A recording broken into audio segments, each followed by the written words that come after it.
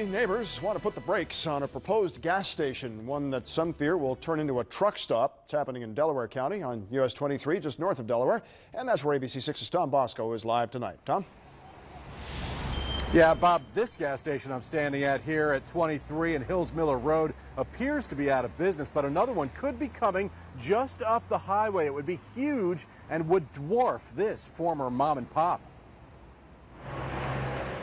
Trucks barrel south toward the city of Delaware on busy US 23. Highway traffic from the north is slowing for just the second traffic light since the Michigan border.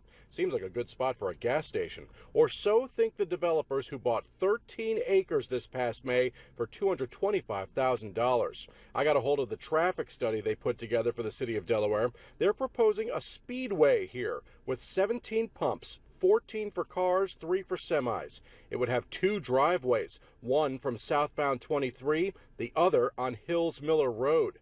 Not so fast, say neighbors. I think of noise, I think of uh, odor.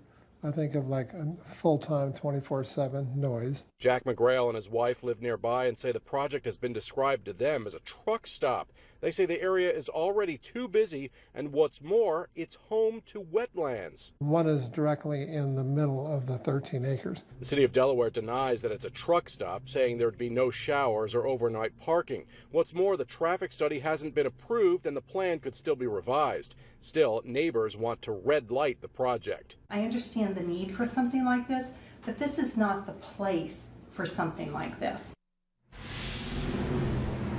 All right, so what are opponents doing about it? Well, the McGrails organized a town hall meeting to talk about it. Susan McGrail was passing out these flyers all day trying to get folks to this meeting and uh, raise a little bit more opposition to this project. That meeting is later this month.